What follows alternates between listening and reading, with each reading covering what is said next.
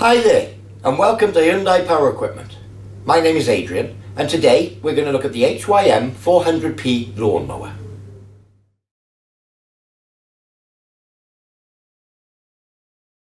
So I've removed all the packaging and laid the contents out here on the bench for you to see.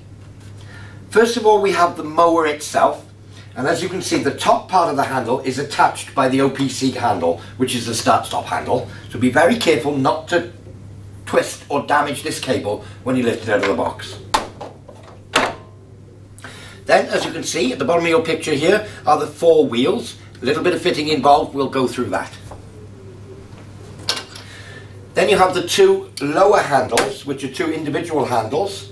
A little bit of assembly needed, we'll go through that. And be very careful to look in the bottom of the packaging because these are just put on very loosely in the box and if any of these knobs and bits and bobs and spaces are missing, there's a good chance that they're in the bottom of your box. So check the bottom of the packaging carefully before disposing of it. And we do recommend that you keep hold of your packaging. Should there be any issue with your machine, then you have the packaging to return it to us. Then we have the large grass collection basket. There is a quick start guide which basically explains everything I'm doing here in this video. And in this bag is a comprehensive user manual. Now I do recommend that you read the user manual thoroughly before using your mower. There is a spark plug spanner and handle, four little plastic hubcaps for the wheels, a spanner and there are four nuts in the bag as well for the wheels again.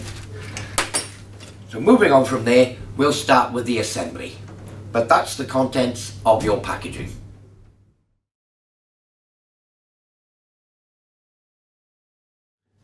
So my first job is going to be to fit these two lower handles.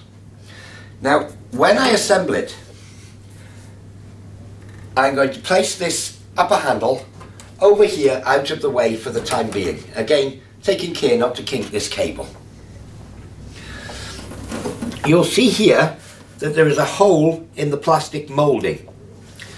That is to take these screws. Now, fairly simply, if I was to attempt to put this one in here, as you can see, the handle would be facing the wrong way in the lawnmower. So you'll know that this handle, and again it's the one with the pigtail on it, is the right hand side from the operator position. And then this one here, as you can see, when I push it down in, put that screw in through that hole to lock it, this will be going in the correct direction. So the first thing I'll do is just loosen off this screw with a crosshead screwdriver.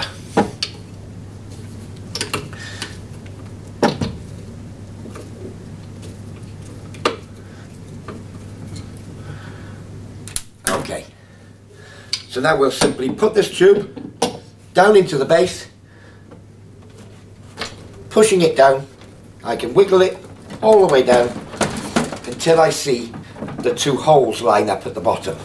Now I can't see from this side so I'm going to have to come around there and have a closer look and I'll show you when we're correct. But it's straightforward enough because when you look through this hole you'll be able to see the hole in the grey tube. So having pushed the tube fully down I can now verify that the two holes are lining up, the hole in the grey pipe and the hole in the plastic moulding line up and I can simply refit the screw. Now I'll just start the screw and not tighten it at this stage. So having fitted the lower handles and left the screw slightly loose which allows a little bit of wriggle room, I'll remove the fittings from the top of the handle here. On this side, the far side, it consists of a nut, a pigtail, a plastic washer and a bolt. I'll just leave the bolt there for the moment. And again, exactly the same here.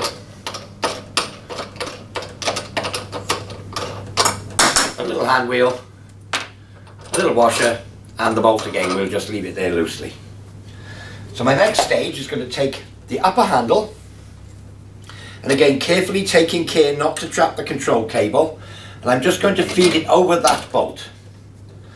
So I'm taking care with this cable all the time I'll just spring the frame out and I shall fit the bolt on this side as well. So I'll just put that there loosely, right. So the bolt is now through there. You've got this plastic washer with a half round on the underside as you can see. And I place that against the tube and then on with the nut. And I'll tighten that nut down at this stage.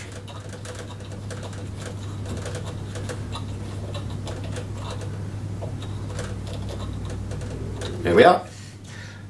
And I'll do exactly the same on, th on this side, but I'm going to fit the little pigtail.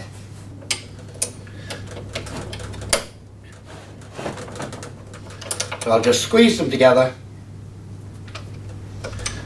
push down on the plastic washer first, on with the pigtail,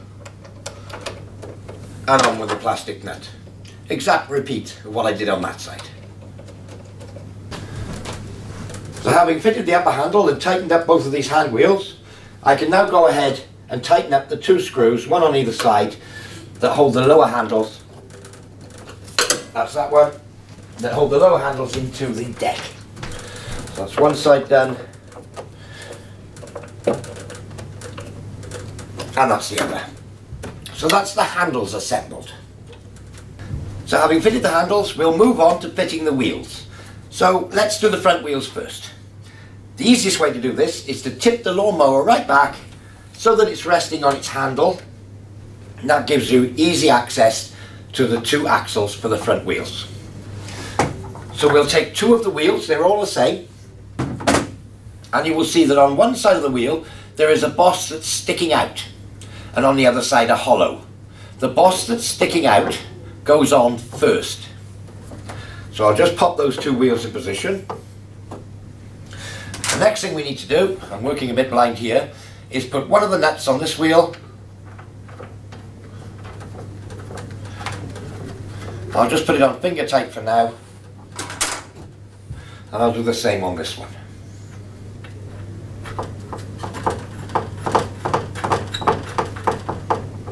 There we are. Now at this stage, again I'm working blind here, you can tighten up the nuts with the 13 mil spanner provided. That's that one done.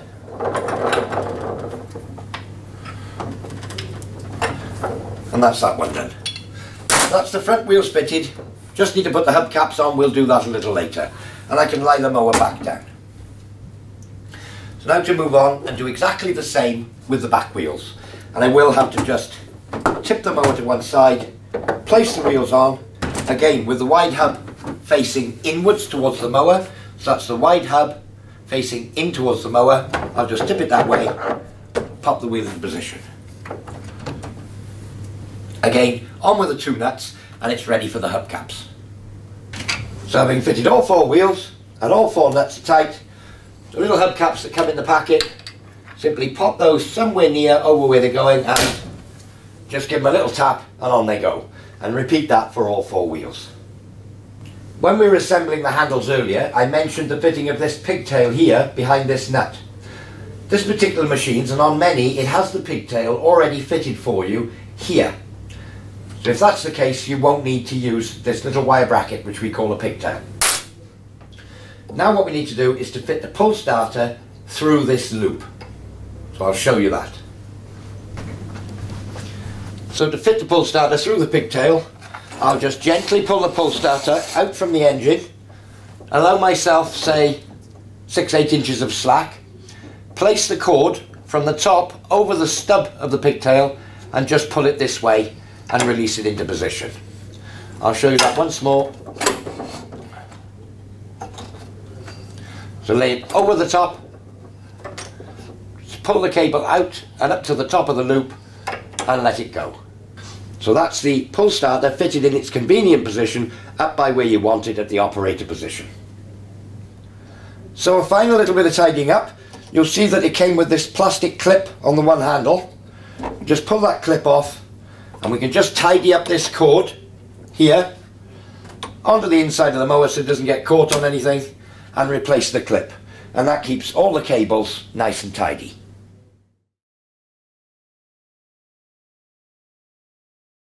So now that we've done most of the assembly, we'll move on to putting engine oil in the engine. Now, this machine ships to you with no engine oil in it, and it's absolutely imperative that you fill the engine with engine oil before attempting to start. If you don't put any oil in, as you can imagine, it will blow up very quickly indeed. So this is the oil filler and dipstick tube. And to remove the dipstick, simply rotate it anti-clockwise and withdraw it. So having withdrawn the dipstick, you'll see that there is a little word on the bottom, it's very small indeed, that says MIN, minimum, and it says maximum just here. And between the two areas is a cross-hatched area. When we fill the engine with engine oil, we're looking to, for the oil level to come up just to where it says maximum on the dipstick. And we simply pour the engine oil in through this filler tube. When you're pouring the oil in, fill it in very gradually and allow the time for the oil to run down the tube into the engine before attempting to dip to check the measure. When you're dipping it, there's no need to screw the dipstick in, simply place it on the top of the tube so, and withdraw it again and uh, check your level. So having filled the engine to the correct level, I'll replace the dipstick, screw it back in clockwise and just make sure it's tight. As you can see from the label on the side of the mower, a 15W40 or 10W30 oil is the oil we recommend. So once you've filled it up to the correct level with either of these two oils, that's your oil filled. Let's move on to fueling your lawnmower. First a little safety note, never fill the engine when the engine is hot. The exhaust will be hot, should you spill any fuel it would be a fire risk. So allow it time to cool down before refueling your lawnmower. So, initial fueling of the lawnmower, remove the fuel filler cap by turning it anti-clockwise and you can take it away. Now, fresh unleaded petrol, not two-stroke or anything like that, it's fresh unleaded petrol, no additives. So fill the fuel tank to within about 25 millimetres of the top of the tank, or an inch down from the top of the filler neck. This will allow room for expansion of the fuel. So having filled up with fresh unleaded fuel, back on with the fuel filler cap. And that's the fuel filled.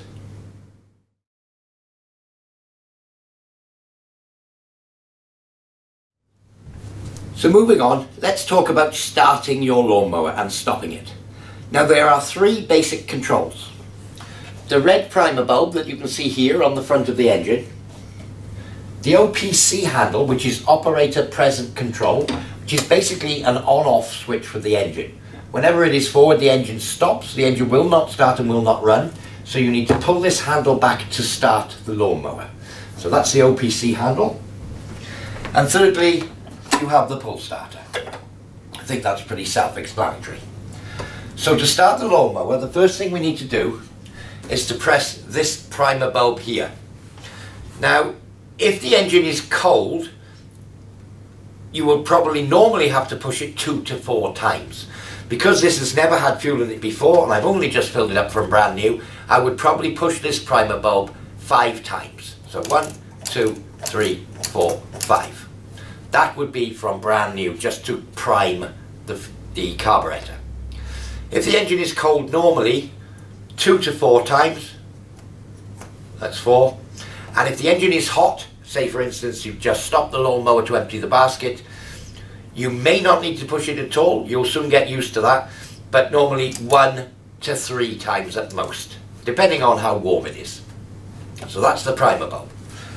So in general use, to start the lawnmower, from cold, one, two, three, pull back the OPC handle, basically switching the lawnmower on, and pull on the pull starter. Once the engine has started, you're ready to go. To stop the engine, release the OPC handle and the engine will stop. So that's starting and stopping your lawnmower. This lawnmower has a single point, five position height adjuster. So there's no messing about with spanners, having to adjust the wheels, that sort of thing, no tools needed at all. From its lowest height, there are five higher positions by pulling out on this handle here, pulling it towards the front of the mower, you raise the deck one notch, two, three, four, and the original was five. So that would be the highest height. So that's five, four, three, two, one. Five positions. Simple as that. One-handed, all in one point. Adjusting the height has never been easier. Let's move on to how to fit the grass collection basket.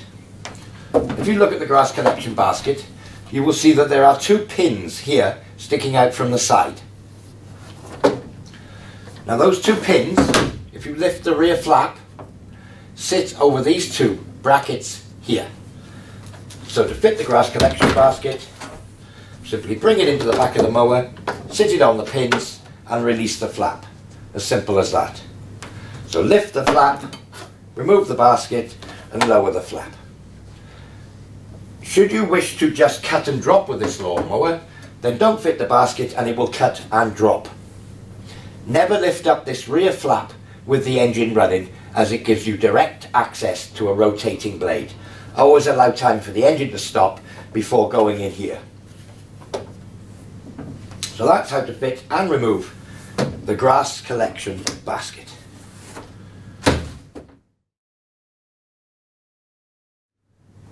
Well, I do hope you found this demonstration useful. For more information on this or any of our other products, simply visit www.hyundaipowerequipment.co.uk. I've been Adrian and happy mowing.